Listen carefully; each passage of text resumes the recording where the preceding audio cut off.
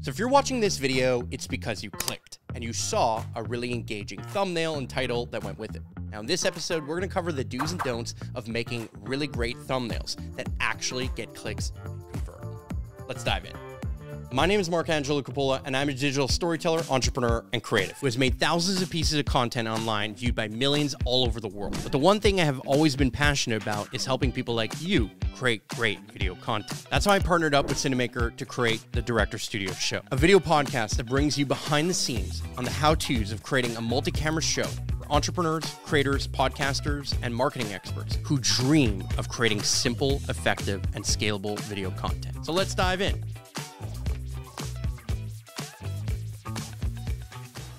So, when it comes to mastering your video production game and creating content online, one thing that is often overlooked is the importance of thumbnails. To me, thumbnails are an art. They go well beyond just a quick Photoshop job or an afterthought in creating a video. In fact, amazing creators have this to say about them probably spend around five to ten thousand dollars a thumbnail. Just making wow. sure you get the right image and it's good. Because like the thumbnail makes a difference between 50 million views or 200 million. Now, if there's any creator that you should be taking advice from, it's probably the biggest one on YouTube, who can religiously speaks about the importance of phenomenal thumbnails. In fact, he never hits record without first envisioning the title and the thumbnail. He makes his videos in accordance to that rather than making thumbnails in accordance to your videos.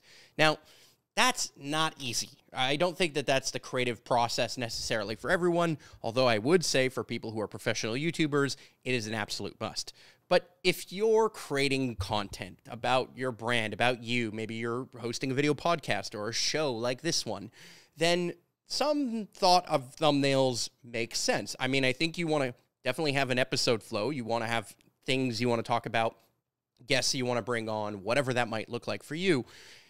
But having an idea of what those thumbnails are going to be and how you're going to format them, as well as making templates and other things that you can use and reuse to save you an enormous amount of time, energy, and money producing them is definitely not something I would look over. So I've got Kyler here who produces the thumbnails for this show. Um, Kyler, I mean, what is your take on the process of creating thumbnails? Like, how, how important are thumbnails from your personal perspective, creating not only this show's thumbnails, but many others as well? I mean, like anything, it, it comes in a package, right? Like, if you don't look at the thumbnails, like when you think of YouTube and you're searching, uh, let's say, how to create a podcast, and you have hundreds, if not thousands, of different videos that you can click on. Well, the thing that's going to make them stop and watch your video is the thumbnail. It is the first barrier to capture the attention of your ideal client. So it's very important. And I mean, if you haven't been convinced from watching Mr. Beast and all these big value creators about talking about how they create thumbnails and how much money, time, and energy they spend on creating thumbnails, it is crucial. It's the first step to actually getting someone to watch a video. And you can have the best video on the planet. And if your uh, thumbnail is trash, then no one's going to pay attention to you, right? I'm trying to think of like a good analogy. And the only thing that comes to my mind is going to a networking event and, you know, coming in with like, I don't know, sweatpants and a t shirt versus actually dressing nice. You don't have to be in a three piece suit, but dress the part for the audience that you're trying to attract. So mm. that is just huge.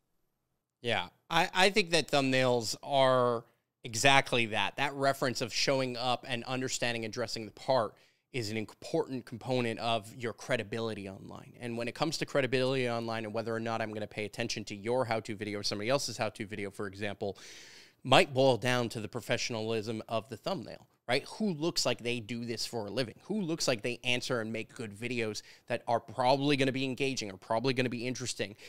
and at the end of the day, it's it's exactly the same as you know we have this this idea of not judging a book by its cover. But at the end of the day, if you haven't read the book and nobody particularly recommended it to you or wasn't on the top of the whatever the New York Times best selling list, well then the reality is you're partially going to judge a book by its cover. You're going to walk around a bookstore, look at the different covers, look at the different titles, look at the packaging that it comes in, and maybe from there pick it up, read the back, do whatever, read the prologue or something like that. But it if that's what is part of the decision making process that somebody has to make to engage with your content, then I would say that the number one thing that people are overlooking is the value of that art. Understanding that that art has a massive impact on whether your video is successful or not. So you can have the most amazing content, but if nobody's clicking it, then what's the point? Right. So I, I just, I really want to nail this home. I believe your thumbnails are an important, if not crucial, part of your online success.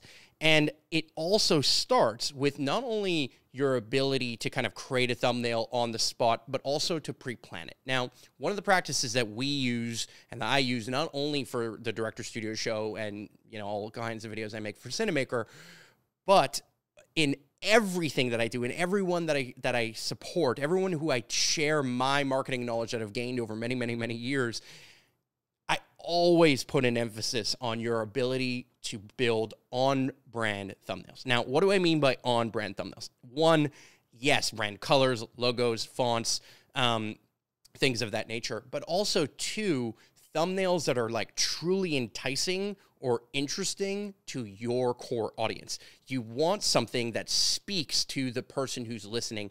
And those types of thumbnails exist. There are many YouTubers, many content creators that are doing an amazing job at making this happen. So later in this episode, we're going to dive into the do's and don'ts by actually just going to YouTube and, and judging some of them.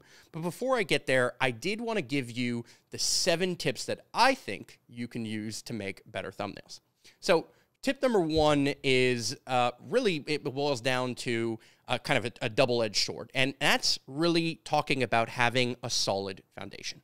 Now, for me, having a solid foundation means having templates, multiple templates, not just one template, multiple templates in multiple formats. So, thumbnails that are designed for YouTube, thumbnails that are designed for Instagram or Facebook or LinkedIn, uh, vertical thumbnails, things that you can use to promo a clip or let somebody know in an Instagram stories, hey, here's what the here's the video that you can go watch on YouTube or on Spotify or whatever it is. Okay, having multiple templates that you can use for different types of content, for different types of uh, topics that you might be talking about would be extremely valuable. Now, when you're thinking of a video podcast, for example, having a thumbnail with your guest's face, particularly if they're a very known person, could be very valuable because that face or that person has clout and their audience is more likely to click on your video if they don't know your channel if they see that their you know maybe influ- their favorite influencer their um, you know favorite youtuber is in the thumbnail that is no doubt going to be helpful to you but there are other ways of doing this, and you've seen them before. I want you to think about thumbnail templates or concepts, things that are, are recurrent in certain channels, thumbnails, and the way that that pops up. Are you starting to see anything? Are you starting to think of some of these things? Maybe red arrows that are pointing in particular directions or circles around particular things boxes like when i think uh, joe rogan experience uh, uh, clips thumbnails i think about little green or red boxes that go around an image that is of the topic that the clip is about. There are a thousand ways of doing this and i know that some of them come off as very cheesy but i do believe that that has an enormous amount of value. Now layered on top and this is the same tip but layered on top of that foundation of having templates i believe that you should do what is called batch production of thumbnails ahead of time. Now, what does that mean and what does that look like? I'm going to show you that in a second. But what I mean by that is rather than trying to create a thumbnail each and every time you're making a video, what if you did a photo shoot in your niche, in your topic base, let's say, um, that speaks to and allows you to have content that you can use to make the thumbnails. Now, if you clicked on this video and if you've seen any of the Director Studio show videos um, uh, that have come from this very show and any of the thumbnails associated to it, they're all coming from, I think, two photo shoots that I did over time. Now, you'll notice that in those photo shoots, I kind of have a similar look and feel. My beard, my hair, kind of looks similar. You'll notice that I'm always wearing black and I'm often wearing similar style jewelry to what I'm wearing in each and every episode, not only of this show, but of the, the photo shoots of this show. Now, I do this on purpose. I have multiple of these shirts. I have lots of pieces of jewelry that all fit the look and feel of what I'm presenting as the brand of Cinamaker, as the brand of the Director Studio show. And I do batch photography where I cut my hair once, I prepare myself once, I get the lighting right once, I hire the photographer once. I don't have to pay for a thousand photo shoots that cost way more money over a long period of time, but I can do batch photos with lots of different props, lots of different elements, different looks, different feels. Some a little closer, some a little further away, some with gear in the in the equation. I don't know. Okay, but all of those are done via batch photography. That then we can use that content to supplement or to become like the base layer, the foundation of our thumbnail. So what does that look like? So I'm going to share uh, the screen here. You see my little clips and, and tips over there. Let's blur that out for half a second um, so that you don't get ahead of yourself. But um, the the tips here are, you know, some of the, the thumbnails that we use from or pull from, you know, there are photos that I pull up that this is all part of my studio setup that you're seeing right here and right now. This is all part of that look and feel, right? So you can kind of scroll through and there's different ones with the phone in focus. There's some that are a little bit more vertical or horizontal in nature.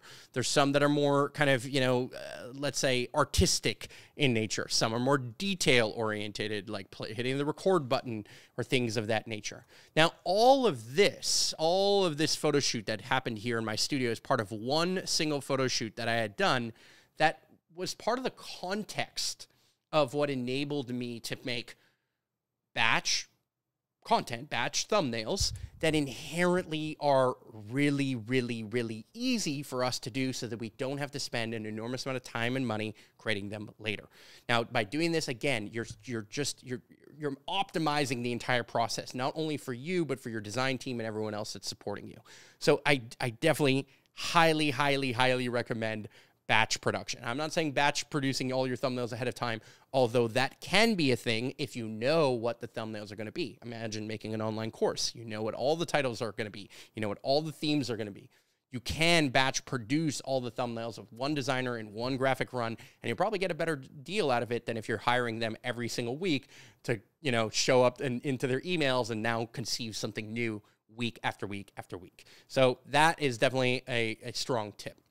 Um, Second tip would be to make your thumbnail and title complementary. So, what do I mean by that and what and how is that best done? Okay, a lot of people tend to come up with a title for their episode or they have an idea of the title of their episode. But titles should be different than thumbnails for two reasons. One, titles have their own genius that goes behind them. And a lot of that has to do with search traffic SEO and a bunch of other things related to what people may or may not click on or what people may or may not be searching for particularly, okay? That being said, there are ways of in creating enticing titles and adding, you know, caps or you can, you won't believe then what happens next or all kinds of different things you could think of, okay? Those are all really enticing and great, but that's in the title and that should be left in the title. Now, what I would do is use a title that is search worthy or, or I don't want to say clickbaity, but you know, let's say click worthy. But you should make a thumbnail that adds to it, that acts a little bit more like an enticing factor or a hook, which is really, um, you know, tip number three. And I'll get to that in a second. But you want to make sure that they're complementary. You want to make sure that whatever's said in the title and whatever said, if there are some words in the thumbnail, should be fairly short in the thumbnail and should be complementary to the title so that they read the title and say, okay, I'm interested in that the thumbnail just grabs them or pulls them in. And or vice versa, that the thumbnail is what stands out. And then they look at the title of the video and say, okay, yes, this is a video I'm interested in. Boom, let me click. Either way, the thumbnail being complimentary gives you two shots at somebody being interested in your video rather than one. Because if you, so many people do this, they put their title in the thumbnail and that's not it's not adding anything. It's not necessarily informing you anymore. So you're you're really taking one stab at somebody being interested rather than using the value of search and the value of other things when it when it comes to titling, um, as well as other like complementary video, other videos that maybe have similar titles or similar themes that cover the same topics. You might want to title your your your title similar to other videos that have had success. There's a whole reason for that. You'll get that at in another episode. But complementary thumbnails uh, is always the way to go. So I kind of precluded tip number three a little bit, but I would make sure that the thumbnail also contains what I'll consider to be a hook. Now, you may or may not have heard the concept of having a hook at the beginning of your video. You start your video and it's something engaging. There's a reason why I'm listening. Unlike, you know, coming onto this podcast, if every single time I was like, I was saying the same thing and I was introducing myself and I was introducing somebody else, I wasn't giving you a reason to watch at the beginning of the video. Well, that same thing applies to the hook that I would consider to be in your thumbnail. Lines like, you won't believe what happened next, or point number four out of a list um, is going to blow you away, or pointing to something, or blurring out something in the image. All of these can be a way of creating a real hook, a real reason where somebody would be incredibly engaged in what may be behind in this video. Now, I'm not saying to be clickbait. I am not saying to put a thumbnail that has nothing to do or has no relation uh, to the video that you're producing or creating. I am saying that you should find what's interesting about your video. Maybe the one thing that if somebody were to click, if they were to walk away with one piece of information, what would that piece of information be? And then incorporate that into your production. Incorporate that as a thumbnail uh, element that is incredibly important in what you're creating and doing. Okay. I want to get into this concept of exaggerating but delivering, right? I talked a little bit about clickbait, and point number four is that you shouldn't be doing clickbait. You shouldn't be considering making a thumbnail that has absolutely no relationship to why or, or how somebody should pay attention. But what you should be doing is exaggerating or, or using the value of a thumbnail to create an enticing reason to click. And that allows somebody to kind of say, Oh, I'm really interested in this. But then the number one thing that I suggest you do is that you also deliver. Now, there's a channel on YouTube called Daily Dose of Internet. Uh, I particularly love it. It's really fast, really short, tends to be like two minute or three minute videos. And they have very good thumbnails okay? And they have very good titles and a bunch of other stuff. And they're just taking some viral clips on the internet and sending people to watch them. And it's a series of like composited viral clips. Now, that being said, the thumbnail and the first clip of the video are always the same. He always uses the thumbnail, which is why he understands is a large portion of why you clicked, and then shows you that clip right away. So he gives you and satisfies that curiosity right away. So exaggerate, uh, but deliver. Tip number five. Now, um, tip number six is uh, use context or known influencers to inspire curiosity. Now, what do I mean by context or known influencers? Okay. In the case of known influencers, it's fairly simple, right? If you recognize this face, then maybe, maybe it would be valuable to put in the thumbnail. So if I have a guest on my podcast, let me think uh, Elon Musk. Well, obviously, if I want to talk about Elon Musk, whether he's a guest on my podcast or not, whether I'm discussing the latest and greatest or the whatever, the failings and winnings of Tesla, any of those different things, using their brand, right? Whether that be a Tesla vehicle or whether that be Elon Musk's face or a combination of both, adds to the notoriety or to the context of the topic that you will be discussing. And using known faces, particularly faces, is always a very strong uh, concept in thumbnails, in creating thumbnails in many different ways. Okay. So the context of existing brands and existing faces is the first thing. The second thing is, let's say you're talking about a subject, a topic. I mentioned uh, Joe Rogan Experience Clip Channel. Well, the clip channels and the clips themselves are talking about things that are happening in the world, whether it's uh, something that happened in a UFC fight or anything of that nature. If you can reference that that clip, if you can pull an image, particularly an image that people might have seen maybe in um, the Wall Street Journal or on, on, the internet or memes, anything of that nature that brings in that context that has an, a, hidden message or an existing predetermined meaning, right? When I think or when I say, make America great again, you think physically of probably a guy wearing a red hat, right? You think of Donald Trump. You think of right wing or Republican or whatever you might think. You have an existing association, and that context can be used for or against you. You can use that context, the existing symbolisms, the existing um, thoughts in cultural narrative, right? The existing ideas and concepts that already live rent free in your brain. And you can use that to entice people to click on your content. So I think it's so valuable that you would just just use that. Use people's faces and use people's brands in a very engaging and powerful way. Now, the last tip that I have for you is to stay on brand. Now, I know that I've already covered that the you may want to stay on brand or you should have some concept of your brand with the whole side of templates, whether that be fonts, uh, colors, as well as um, a look and feel to the logo and to maybe the the shape of what your thumbnails may or may not look like. And I would say that staying on brand is maintaining that very powerfully. Back to Mr. Beast, his thumbnails are very on brand. Often a picture of him, often a picture of something very extravagant or insane, whatever the concept of the video is. Think of David Dobrik, same thing. He, his brand is emotional reaction. It's funny, it's interesting, it's shocking. It's like you won't believe what just happened in this video, or you won't believe what happened over here.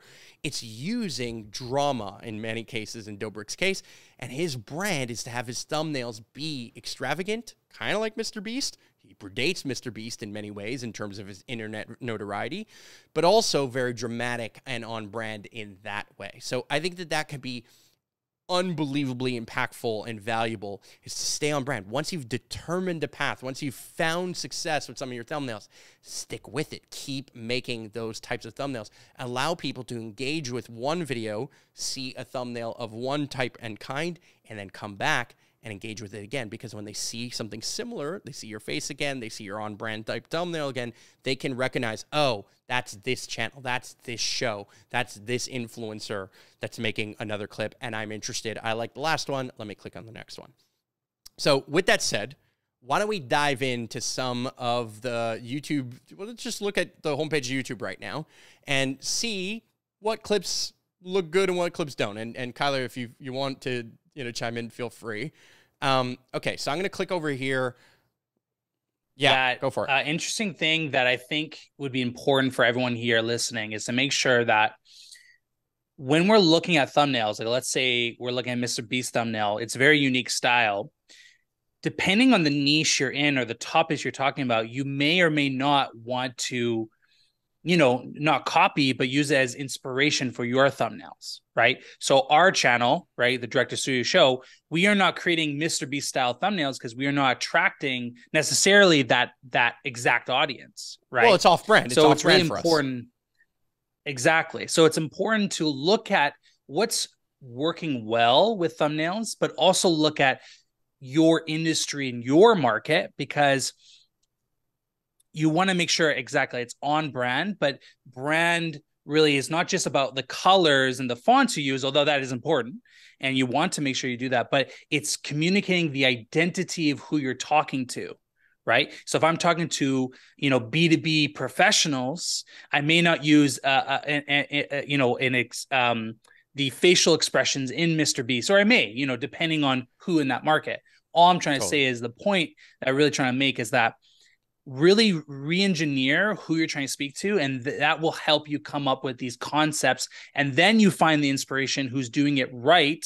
Maybe it's more a gary vee style thumbnail or it's an alex Hormozi style thumbnail whoever. Find the inspiration that's in your niche your market um, that really speaks to you because if it speaks to you and you you know work with your clients it's going to speak with your clients. So i think that's 100%. just a really important point to go outside the branding conversation of just fonts and colors, but speaking to your ideal audience. On brand is a, is a target that is specific to the brand that you're creating, not just a look and feel. It's not just a design thing. It is a concept thing. It is a theory of sorts. But that theory becomes practice when when done and put into these thumbnails in these different ways. So I fully agree with that. I thank you for adding that. Um, okay, so let's get to YouTube here real fast. Um, okay, quickly, this is an unsigned in YouTube account. This is based off of, obviously, I'm in Canada, Montreal. So you're looking at different thumbnails and you're going to see a bunch of popular stuff and you're going to see some maybe things that are related to, I don't know, things that this computer uh, is being suggested in some way, shape, or form. Now, when I look here, there's a couple of things that stick out to me, okay? One, there are some thumbnails that work better than others just in these top 10.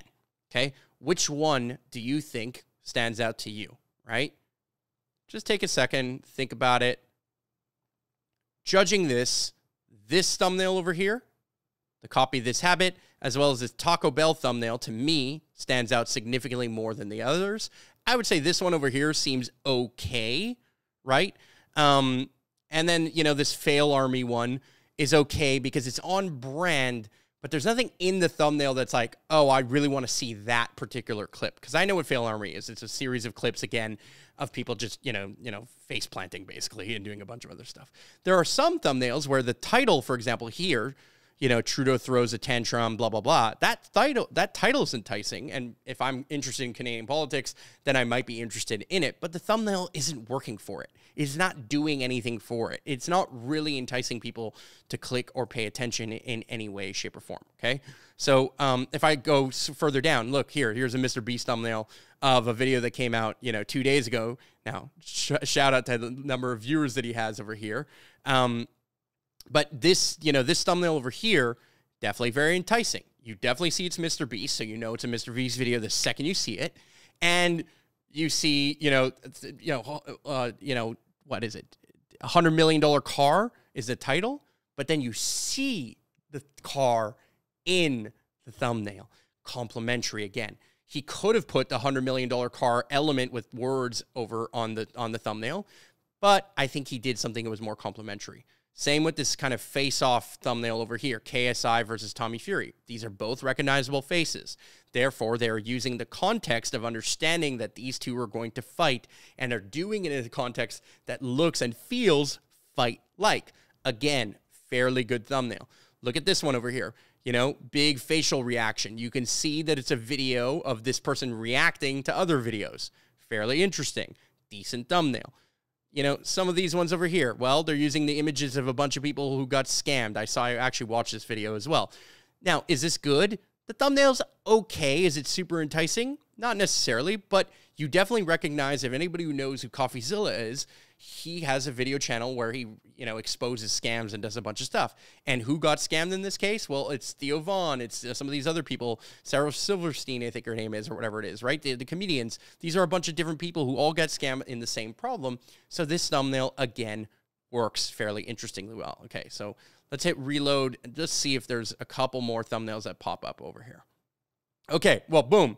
You've got a Cinamaker thumbnail, download and install. Okay, so this video is not meant to be enticing in a particular way. This video lands in the context, for example, this download and install video of Cinamaker lands in the context of something very different um, uh, because it is an instructional video.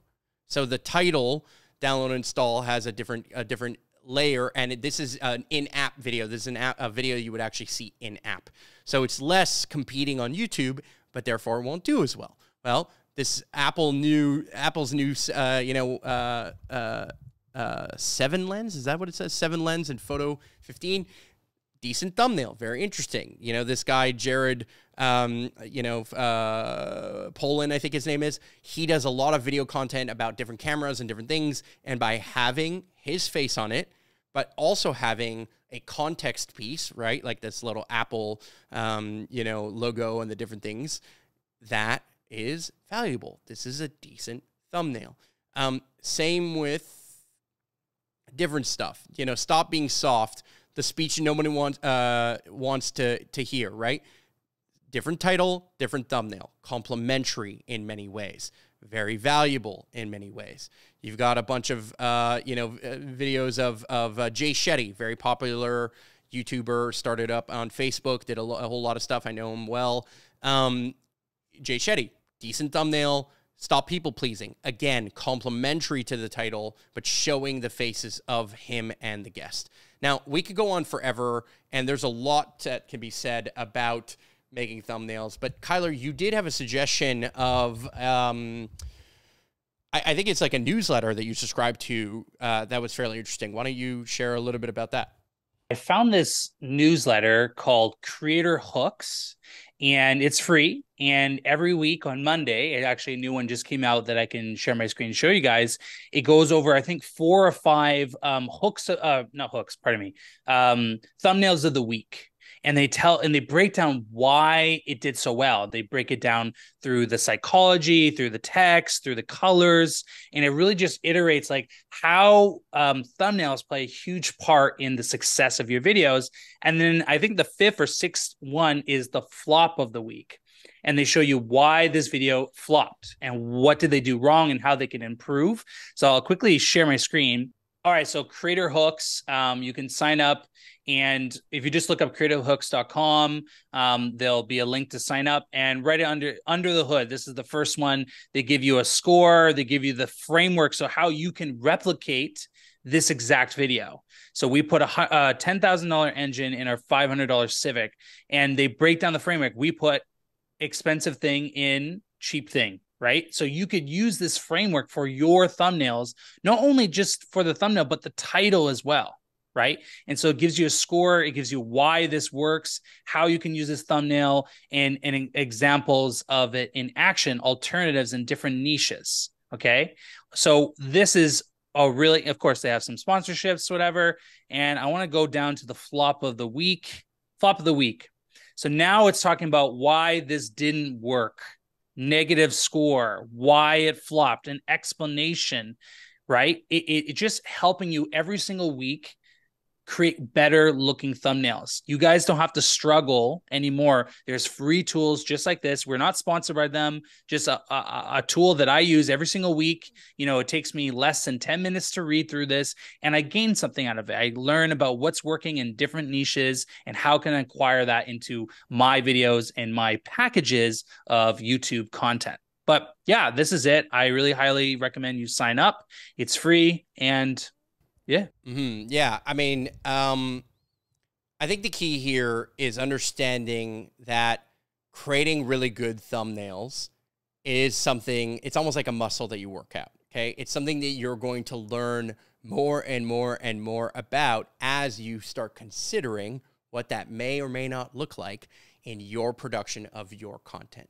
So go out there, study, look at YouTube videos without necessarily clicking them. Go to YouTube and research, think about the thumbnails, and then put thought into yours. Um, so you can make better content and actually get way more clicks, just like we promised. Anyway, we'll see you in the next episode.